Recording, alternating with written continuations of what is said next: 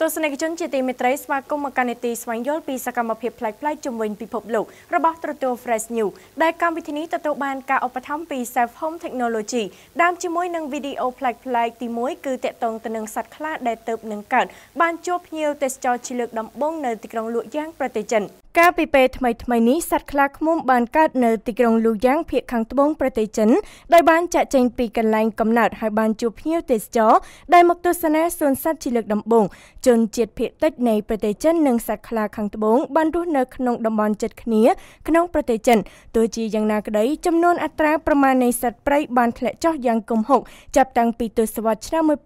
1950ដោយសារតែការបាត់បង់ទីជម្រកបច្ចុប្បន្នមានសត្វខ្លានៅភាគខាងត្បូងប្រទេសចិនចំនួន100ក្បាលនៅឯសួនសត្វឬបានបង្កាត់ពូជទស្សនិកជនជាទីមេត្រីសម្រាប់វីដេអូប្លែកៗទី2គឺតកតងទៅនឹងការហែលទឹកឆ្លងកាត់ទន្លេយ៉ង់សេនៅរដូវរងា មនុស្សចំនួន1000នាក់បានហែលទឹកនៅតាមបណ្ដោយទន្លេយ៉ង់សេចម្ងាយ1500ម៉ែត្រឆ្លងកាត់ច្រកភ្នំវូសៀនិងសៀលីងដែលស្ថិតនៅទីក្រុងចុងខ្វីងខេត្តហូប៉ៃភាគនិរដីប្រទេសចិនច្រកភ្នំទាំងពីរនេះគឺជាផ្នែកមួយនៅក្នុងចំណោមភ្នំដ៏ល្បីល្បាញទាំង3តំបន់ច្រាំងទន្លេយ៉ង់សេហើយច្រកភ្នំទី3គឺមានឈ្មោះថាខូតាំងប្រិយមិត្តឬទស្សនិកជនជាទីមេត្រីបន្តទស្សនាជាមួយនឹងវីដេអូប្លែកៗទី3គឺតកតងទៅនឹងមនុស្សចំនួន4នាក់បានស្លាប់ដោយសារតែកំហុសបច្ចេកទេសរបស់អ្នកបើកបរយន្តក្រុងសាឡាមនុស្ស4នាក់បានស្លាប់និង11នាក់ផ្សេងទៀតបានរងរបួសនៅក្នុងហេតុការណ៍គ្រោះថ្នាក់នៅពេលដែលមានរថយន្តក្រុងមួយបានរអិលពីលើទួលទៅប៉ះទង្គិចជាមួយនឹងអ្នកថ្មើរជើងនៅលើផ្លូវក្នុងទីក្រុងហុងកុង